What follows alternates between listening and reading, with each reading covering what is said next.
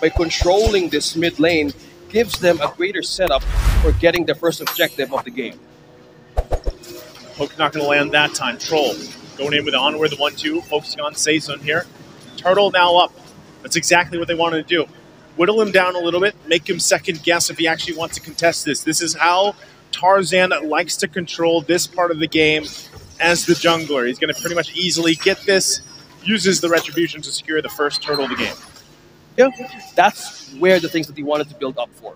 Would they give the kills on to Lark or will they give it to Sanji? Okay, they're going to go once again. Onward goes. Saison could be in trouble. Feathered Airstrike going to fall too. Bloody Hunt right on the target. Tarzan zoning them out. They have to flicker out to stay alive for a little bit longer. Couple hits away. Two fall for Philippines. Saudi Arabia on the board. They're still going for it. It's trade though. The one for two. Big hook into the turret, and that's going to be a kill. It's a double for Requitiano. Brody's when they get these leads. Now look at the dominance. Iron Hook and land with the Bloody Hunt. That's an easy kill. Troll will fall. Still going to be going with Last Insanity. Penalty zone right on top of Requitiano. He has to escape. Can unable to get the kill he's looking for. Three fall for Saudi Arabia. Now on the run. Only Unigo went down, sacrificing himself there. Even Stevens for the Turtles as well, the one for one, but now the turret going to be worked on here in the mid lane. That is the dive advantage of an X-Borg cannon. Picked up the immortality right away. You know how he can easily be poked down with the hits of a Valentina. Maintaining that Firaga armor and having a chance of life again with the immortality is a great advantage and confidence for Team Philippines to even have a great setup. They have taken the turtle, and mostly the burst coming from the last insanity is becoming a problem now for Saudi Arabia. How do they pick up something like that if the again the bot the button of the ultimate has been activated, right? Yeah, and not only that too, but they're, giving it a go once again, right under the turret, a little bit risky, but they go in for the kill anyway. Requitiano along with the team, it'll be the one for one trade. Unigo just going every time, like he's like, I got the focusing mark. I'm gonna go in with the bloody hunt, find a lockdown, and give you guys a kill. That's kind of his assignment right now, and he's doing it right. Requitiano, by the way, too, did just recently pick up the Malefic Roar on this Brody. So he's got two now. Damage department is great. Look at this. He's fully stacked. This is going to be a kill, right? Oh, my goodness, Sanji. Sustainable. Able to He's- he lives. He lives. As I was completely. talking about the Malefic Roar. it's not enough yet. Okay, a Oh, little he has warrior boots though, maintaining and they just deflect a bit of damage. So spell valve is still used and being again eminent for uh, this Terizla. Has a way of sustaining that, but if the threat now continues to grow for Requitiano, he had an early pick with that Malefic Roar, and with that, aided, aided with Blade of Heptaseas becoming a danger. That's a that. walking Yeah. winning condition for Philippines right now. That's right. Saudi Arabia might be pushed to answer with defensive items. Do you see Anticuras here? Will this be a big of a difference for damage or even? Oh my deflecting? Wow, goodness, Tarzan. stolen! Smooth. Just rolls in, literally. Retries that away from the hands of Philippines. That's that's a great step in the right direction, right? If that's what you can do to secure your second turtle, go for it.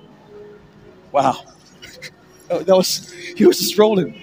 He was just checking. Literally. he's just checking more of the vision. I was Who needs vision when you can do that? Oh, having the precise damage with his own retribution. Looking at the items right here, steel leg plates. You have molten essence for this box, enough for him to sustain, and mostly he has more utilization of his own ultimate. Purpose missiles right now is so effective. Okay, they're going to be in trouble here. Once again, the flicker comes through. Troll not able to find the connection. Still gets to the toss up. Look at the backside. Canon with the last insanity. Meanwhile, they're still going to be going. Cuffin with his own, forcing the Philippines back here. But Requitiano unleashing with the torn apart memory, able to find Troll. They want more here. They're going to put pressure on this turret. It finally falls. Unigo trying to line up a hook. Will he be able to grab anybody? He does not find the connection. Well, speaking of connection, that is just true. Damage connection for Requitiano. Getting the warrior boots just now. Enough damage penetration, enough build. Oh, that's Garcia though. Okay, Kanon gonna go in once again with the last insanity, force him back. There's the feathered airstrike to Sanji in trouble. Couple hits away, he goes down once again by Requitiano. 5-0 and 3 now. Absolutely massive here on the Brody. All this leading to the transition. This is what I was talking about, ladies and gentlemen, that Saudi Arabia had to figure out. Early game was pretty good for both games now. mid game to the late game transition is where they have to match the macro play from the Philippines. And it's starting to slip out of their hands once again, like it did in game one.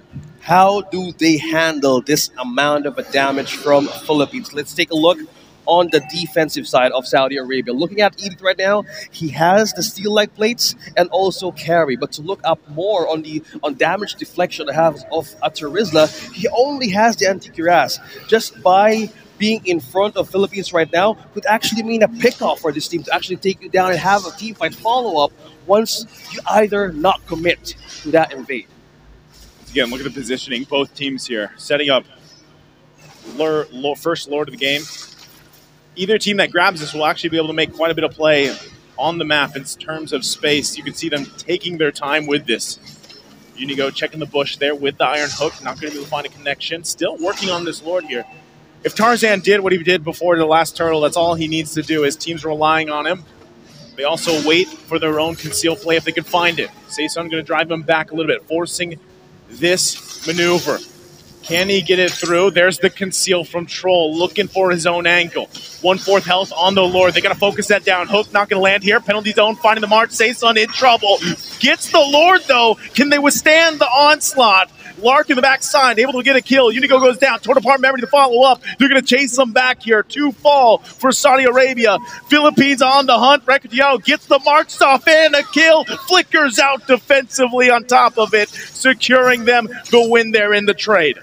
Unigo with the right target. This is usually the time frame where they really shine They've ended games this early on, too, on the first floor of the game. They're going to press the situation again. That was a hook landing plus the bloody hunt. Tarzan in trouble, has the immortality, trying to buy time here, and he's still going to be going. Finally falls. Now Troll, the next target.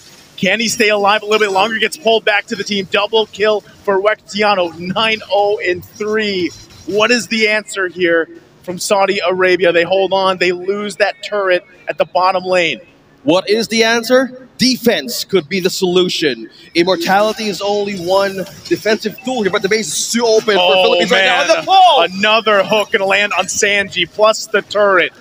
The threat there with the feathered airstrike. They're looking to close out the game here in a sweep, claiming their first position in the grand final. Looks like they're going to do it. Philippines, in quick fashion, 12 minutes in, will claim their spot in the grand final tomorrow.